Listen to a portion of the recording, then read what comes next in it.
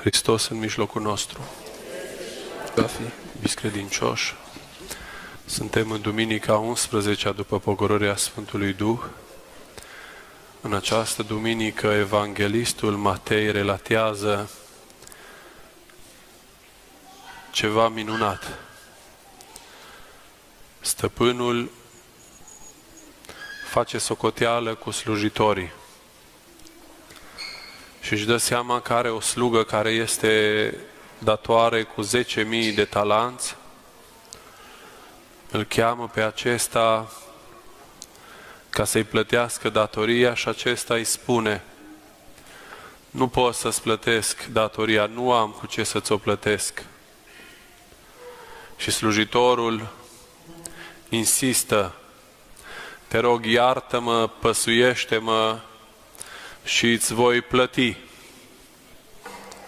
Atunci stăpânul care avusese plan să-l vândă pe acesta și pe slugile lui și pe cele ale caselui, pe copiii lui, ca să-și recupereze din datorie, văzând rugămintea slugii, îi se face milă de el și îi face acestuia două cadouri, două daruri. Primul îi spune, poți să mergi la casa ta, ești liber, nu ți se va întâmpla nimic. Iar al doilea dar pe care îl face, îi spune stăpânul slugii, îți iert și datoria. Și de acum încolo nu trebuie să mai împlătești nimic. Și a plecat acesta împreună cu familia lui spre casă, dar s-a întâlnit cu o altă slugă. Și acesta îi era dator cu câteva, cu o sută de dinari. Un dinar era plata pe o zi. Deci ar fi avut acest din urmă să-i plătească slugii iertate o sută de zile de muncă. Iar comparat cu cei 10.000 de talanți, care ar fi însemnat 10 vieți de muncă, era nimic. Și acest din urmă, dator cu 100 de dinari, spune și el la rândul lui, te rog să mă ierți, păsuiește-mă, îți voi plăti. Dar sluga iertată, sluga căreia i s-a șters datoria, îi spune, nu pot să te iert.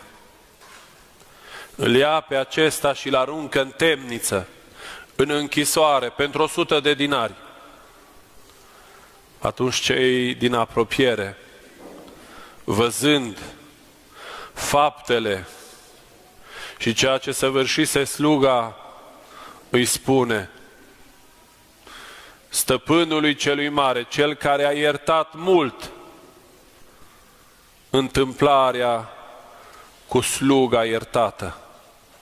Și îl cheamă stăpânul pe cel căruia i s-a șters 10.000 de talanți și îi spune, nu ai putut să ierți și să ștergi o sută de dinari din datoria celui care, pe care tu l-ai trimis în închisoare? Nu se cuvenea oare să-l ierți și tu pe acela cu cât mai mult eu te-am iertat pe tine cu o datorie cu mult, cu mult, cu mult mai mare. Și Sfântul Apostol și Evanghelist Matei ne spune că stăpânul, după ce îi dăduse acestuia două daruri, îl iertase, îl lasă liber la casa lui, iar al doilea lucru îi iartă datoria, acum, pentru a doua oară îi spune, pentru că tu nu ai iertat puțin semenului tău, te voi trimite în închisoare și în chinuri pentru cei zece mii de talanți pe care tu trebuie să mi-i plătești. Deci iată cum l-a iertat, dar pentru că el nu iertase la rândul lui, stăpânul îl pedepsește pe acesta. Deci, iubiți credincioși, Fiecare dintre noi rostim în fiecare dimineață, în fiecare seară, rugăciunea domnească Tatăl nostru. Câteodată spunem pe fugă, câteodată spunem cu multă luare aminte, câteodată spunem această rugăciune cu lacrimi în ochi și spunem și ne iartă nouă greșelile noastre, precum și noi iertăm celor ce ne-au greșit nouă, greșiților noștri. Și noi înșine ne angajăm prin această rugăciune domnească ca Dumnezeu să ne ierte așa cum și noi iertăm semenului nostru, semenilor noștri. Este întrebat Domnul Isus Hristos. Pentru că apostolii cunoșteau o parte dintre ei foarte bine legea Vechiului Testament. Și spunea acolo în legea talionului, ochi pentru ochi și dinte pentru dinte. Adică dacă cineva ți-a făcut rău, într-un anumit fel, în același fel și tu să-i răsplătești. Ne învață însă Domnul Isus Hristos, care spune, eu n-am venit să stric legea, nu am venit să stric legea, ci eu am venit să o înnoiesc, să o sfințesc. Spune, dacă cineva ți-a greșit, să-l ierți pe acesta de 70 de ori câte șapte. Adică într-o zi un om nu ar putea greși de atâtea ori cuiva. De 70 de ori câte șapte. Dar Isus ne învață, Mântuitorul nostru, de câte ori să iertăm cuiva? De 70 de ori câte șapte. În Sfânta Scriptură avem multe exemple de oameni care nu au putut ierta, care nu au putut trece peste propriul ego, peste propria mândrie și să ierte semenilor. Ba mulți dintre ei nu au putut ierta propriului frate, ce s-a întâmplat între Cain și Abel. Ce s-a întâmplat între Isav și Iacov. Ce se întâmplă în Vechiul Testament ne relatează și prorocii și aceștia condamnă faptele acestea. Aspru, le critică, că nu putem ucide în numele dreptății. Asta însemnând că nu putem ierta. Războaiele în lumea aceasta au fost războaie de cotropire, de supunere a celuilalt, asemenului, că toți oamenii pe pământ înaintea lui Dumnezeu suntem egali înaintea lui Dumnezeu, indiferent de limbă, de neam, de credință. Suntem egali. Și încă din vechime, oamenii au suferit ucideri, popoarele au suferit pierzând, pentru că, pierzând vieți, pentru că unii nu au putut ierta, nu au putut trece peste propriul egoism. Primul război mondial, al doilea război mondial, n-au putut statele să se înțeleagă ca să nu fie milioane și milioane de oameni și de vieți căzute, curmate, n-au putut ierta. stăpânii care sunt temporari stăpâni pe acest pământ.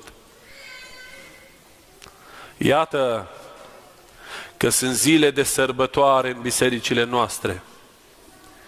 Sunt zile binecuvântate cu rugăciune, cu post, cu cântare. Rugăciuni închinate Maicii Domnului. Rugăciuni rostite din inimi, din adâncul inimilor noastre.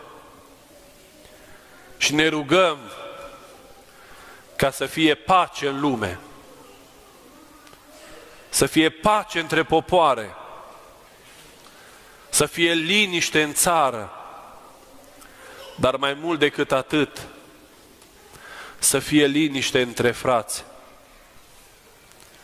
Știți, dumneavoastră, că primul cuvânt pe care un copil îl spune când vine la spovedanie, care este, știți? Să vedem dacă știți. Un copil de 8 ani, care se spovedește poate prima sau a doua oară. Știți ce spune? M-am certat cu frățiorul meu. M-am certat cu surioara mea. Ne-am jucat și de la o jucărie ne-am împins și ne-am certat și am vorbit urât, unul cu celălalt. Și acest păcat continuă pe tot parcursul vieții noastre. Apoi, dacă pruncii aud lucruri necuvincioase din partea părinților, din partea bunicilor, dacă văd fapte necuvincioase făcute de aceștia, și ei le vor săvârși la rândul lor. Adică minciuni, înjurături, petreceri, ospețe, beții, pentru că educația pe care o dăm copiilor noștri este una vizuală. Ei văzând își apropiază faptele părinților, iar mai apoi când cresc și ei le fac.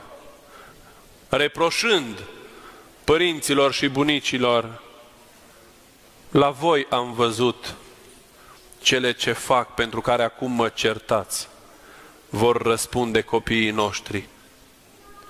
Și mama și tata ce fac atunci? Ei iartă pentru că nu este mamă și tată care să nu ierte. Nu este mamă care să nu-și ierte propriul copil, indiferent de greșeala pe care a săvârșit-o, indiferent. Că spunem noi că Tatăl nostru cel Ceresc ne iartă nouă cu mult mai mult decât noi înșine putem greși. Cu mult mai mult. Și dacă mama iartă pe propriul copil care a greșit, a greșit în fața tatălui și a mamei, în fața prietenilor, a fraților, a societății, în fața lui Dumnezeu și totuși mama îl iartă. Oare Dumnezeu, Tatăl nostru cel din ceruri, ne iartă pe noi? Ne iartă dacă recunoaștem greșeala, dacă o mărturisim, dacă o spovedim și dacă ne străduim să o îndreptăm și să nu o mai săvârșim. Să nu spunem în inimile noastre, repetăm păcatul că Dumnezeu e bun și ne iartă. Pentru că atunci vine pedeapsa lui Dumnezeu peste neamul nostru, peste rudenile noastre, peste neamul în care ne-am născut. Pentru că noi cerem lucrul acesta prin promisiunile greșite, false și mincinoase pe care le facem înaintea lui Dumnezeu.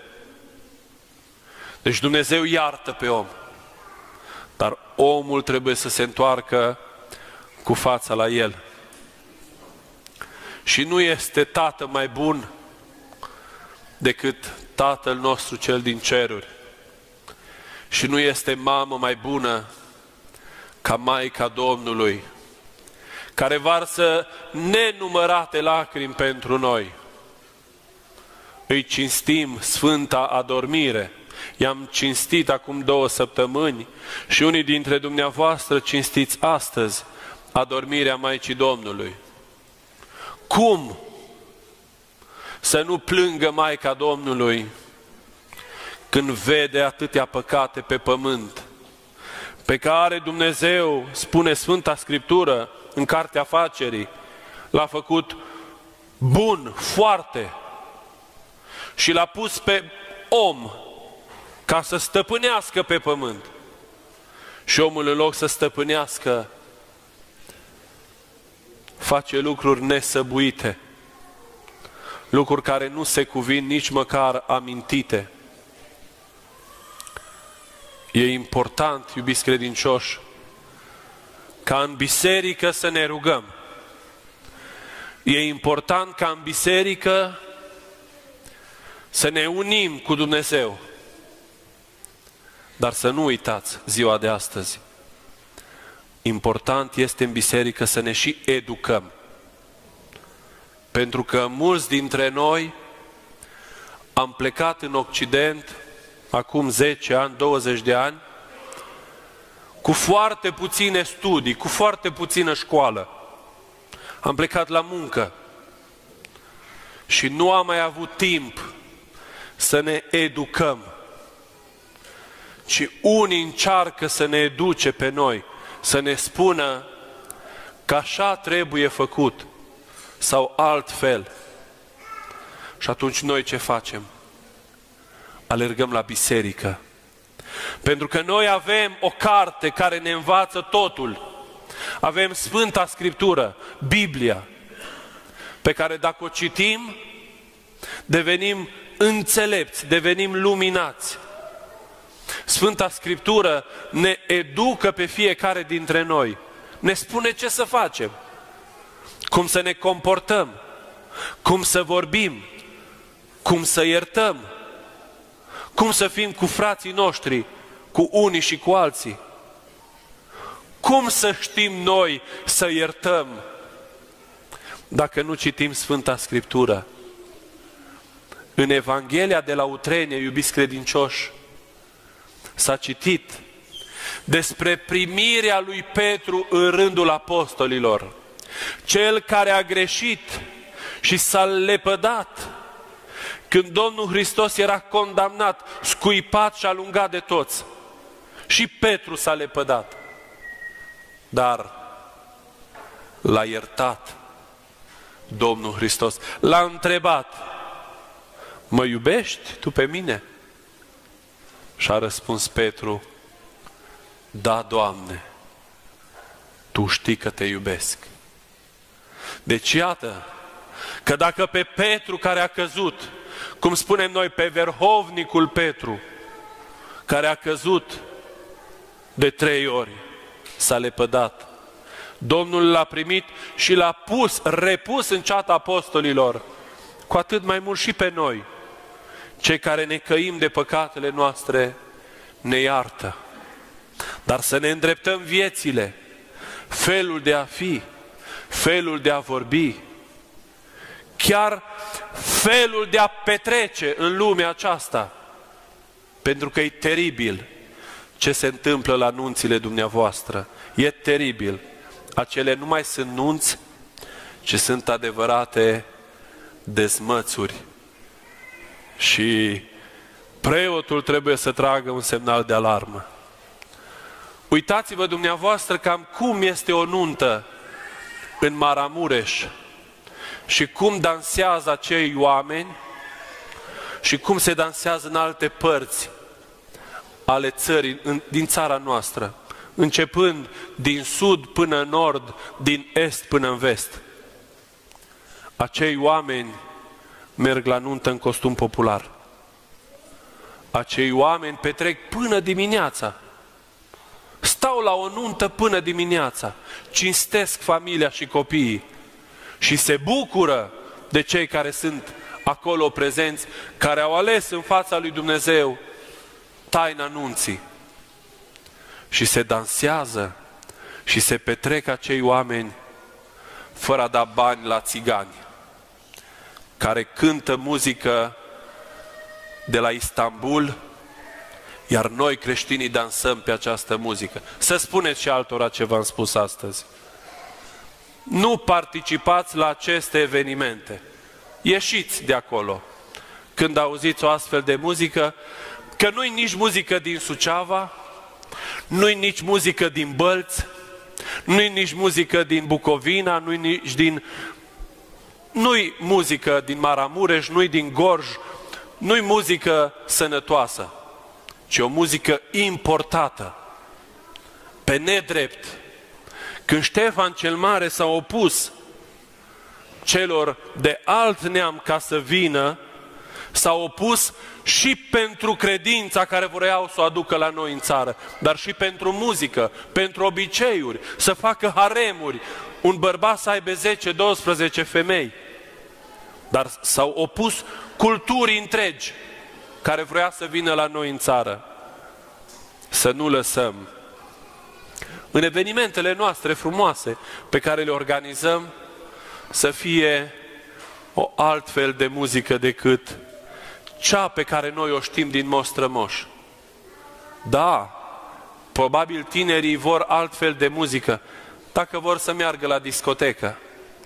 Dar nunta, rețineți acest cuvânt, că nu suntem mulți astăzi. Nunta nu-i discotecă. Rețineți și spuneți și altora. Și asta vă spun eu cu mâna pe Sfânta Scriptură.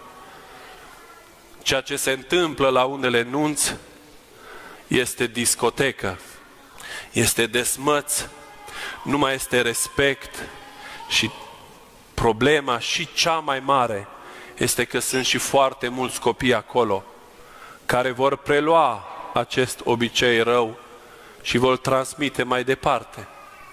Noi ce datorii avem? Să învățăm pe copii ce este cu adevărat limba, cultura, portul, ce este o muzică sănătoasă la noi în țară? Să auzi o muzică populară, să auzi o doină, să auzi o baladă, să auzi un taragot, să auzi un țambal, ceea ce reprezintă, fiecare instrument reprezintă ceva, dar noi știm prea puține, v-am spus, am plecat din țară, fiecare făcând o școală, un liceu, poate, și am ajuns aici în lumea aceasta. Iar apoi, pentru că am reușit să câștigăm câțiva bani, ne întoarcem în țară și facem tot felul de lucruri care poate nu ne dăm seama la început, dar noi vă spunem lucrul acesta. Petrecerea să fie petrecere, doar eu în creangă spune așa. Să, așa spune în glumă, eu în creangă. Ce bine ar fi ca tot anul să fie sărbători și doar o zi de muncă și și atunci să fie nuntă. Da? Dar vorbea în sensul adevărat al cuvântului, adică rugăciune, odihnă, dar mai ales a fi împreună cu familia, cu semenii. Noi pentru toate trebuie să iertăm. Noi pentru toate și pe toți trebuie să iertăm. Dar trebuie pe fiecare să-i îndreptăm, să le spunem ce este bine și ce nu este bine. Aș dori în încheierea acestui cuvânt, pentru că intrăm într-un nou an bisericesc, pe 1 septembrie, să vă citesc câte ceva din Epistola către Evrei, în capitolul 13. Capitolul acesta se numește, se intitulează Îndemn la viața creștinească și la credință curată. Rămâneți într-o dragoste frățească, Primirea de oaspeți să nu uitați, că prin aceasta unii fără să știe au primit în gazdă îngeri. Aduceți-vă aminte de cei închiși, ca și cum voi ați fi închiși cu ei. Aduceți-vă aminte de cei ce îndură rele, întrucât voi sunteți în trup.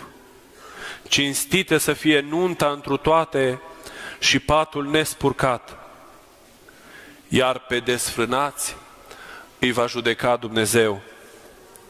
Feriți-vă de iubirea de arginți și îndestulați-vă cu cele ce aveți, căci însuși Dumnezeu a zis, nu te voi lăsa, nici nu te voi părăsi.